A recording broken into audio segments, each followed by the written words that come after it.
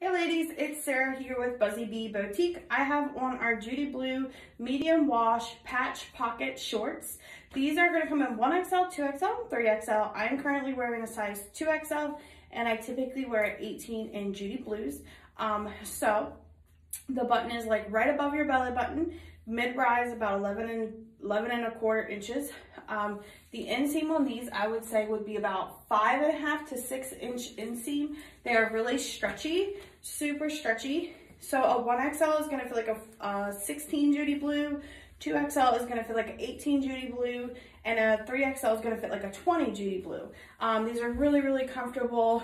I would stay true to size in these. So if you typically wear a size 16 in Judy Blues, wear a size 16 in these. Um, these are going to be on our website, buzzybeeboutique.com, under our new arrivals tab, our denim tab, or our bottoms tab. Head over and grab them before they're gone. Bye, ladies.